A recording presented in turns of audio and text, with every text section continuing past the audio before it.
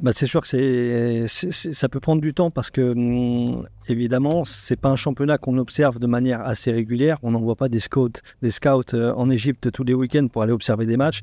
Mais bon, compte tenu aujourd'hui de, la vidéo avec laquelle on travaille énormément sur le scouting, voilà, euh, plus la data notamment. Donc on, ce joueur est, ressorti, Mohamed est ressorti dans nos, dans nos radars. Il a été ensuite observé énormément à la vidéo euh, sur, les derniers, sur les derniers mois. Et très vite, on s'est aperçu qu'il y aurait une possibilité, parce que c'est jamais simple de sortir un joueur euh, égyptien de, son, contexte. Mais comme il le disait lui-même, à 25 ans, je pense que voilà, c'est le bon timing. D'autres joueurs sont arrivés beaucoup plus tôt, joueurs égyptiens, qui ça n'a pas toujours fonctionné en Europe. Euh, parce que bon, ils vivent dans un, dans un contexte vraiment très particulier, avec une ambiance extraordinaire, des clubs extraordinaires.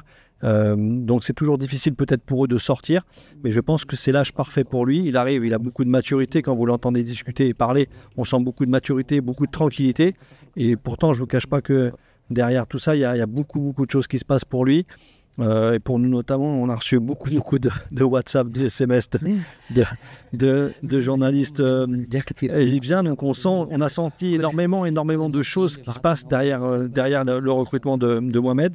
Mais c'est surtout le joueur qu'on observe. Voilà, et nous, on a vu un joueur qui était en grande capacité à pouvoir s'intégrer dans un championnat de France qui demande beaucoup, beaucoup de choses pour les défenseurs et que malgré une taille moyenne pour un défenseur central, dans une défense à 3, euh, ce c'est pas forcément un sujet. En plus, il a un jeu de tête qui est très, qui est très performant. Il a des qualités d'agressivité de défenseur qui sont euh, à la hauteur de ce qu'on attend et une qualité aussi sur le plan technique qui permettra à l'équipe d'avoir une ressortie de balle intéressante. Donc voilà dans le process comment ça s'est, comment ça s'est fait. Je remercie aussi les, les, personnes qui se sont occupées de son arrivée. Euh, notamment les, agents qui l'ont représenté où vraiment ça a été très fluide du, départ à, l'arrivée et c'est aussi à noter parce que voilà, ça a été, euh, quasiment parfait du début à la fin.